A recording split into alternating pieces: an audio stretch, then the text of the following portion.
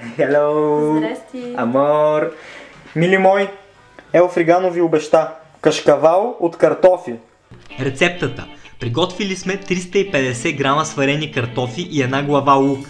Това тук не е кокаин, това е картофено нишасте. 150 грама. Освен това, слагаме хранителна мая, която придава много хубав вкус на кашкавала, 6 супени лъжици от нея и една супена лъжица сол. Ние използваме черна хималайска, но може да сложите каквато сол имате под ръка. Освен това, за да отцветиме кашкавала подобаващо, слагаме куркума. Една чайна лъжица куркума. Използваме желиращ агент агар-агар. От него слагаме две супени лъжици.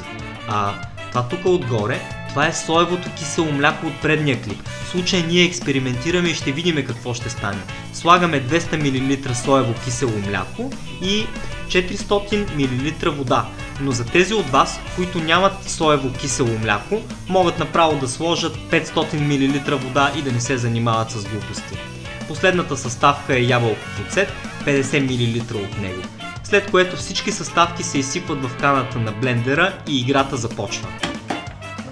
Рок н рол.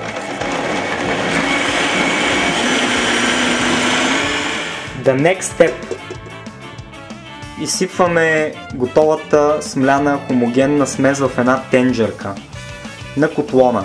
Сега, за предпочитане е тенджерката да бъде с незалепващо дъно. Защото иначе може да имате малко проблеми, но и да не е в а, тенджера с незалепващо дъно, пак ще стане, защото нашата е такава. Включваме го на какъв огън? Първо на силен, докато започне да се сгъстява и после намаляме на най-слабия. А, така, докато започне да се сгъстява първо на силен огън, после намаляме на най-слабия и бъркаме, бъркаме, бъркаме нон-стоп. Нон-стоп. Нон-стоп, някъде около 10 минутки. Като е готово, ще ви кажа колко време е минало. Така че бъркайте! Много е важно като бъркаме отдолу по самото дъно да загребваме хубаво, за да не залепва. Особено ако сте с такава тенджера, която залепва. Старайте се! Старайте се! 7 минути по-късно. Ето, виждате ли вече колко направо е станало... Трябва да почне да се отлепя от стените. Виждате ли? Е, като стане с такава гъстота, вече е идеално и може да се махне от котлона. Намазняваме съдовете, в които ще го изсипваме. Важно е да се намазнене, за да може после да се отлепи. След което изсипваме кашкавалеца във формичките. После с мокри ръце хубаво да си го загладите отгоре. Затваряме формичките и ги оставяме в хладилника да се охладят за една нощ поне. Даже за 24 часа.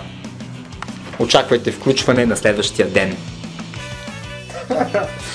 на следващия ден връщаме се в играта. Я да видим.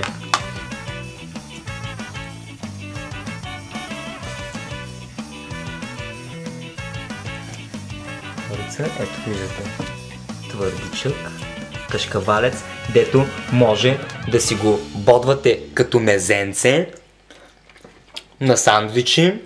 Аз даже сега ще си направя сандвичи с домати, с кашкавал, ще се запека.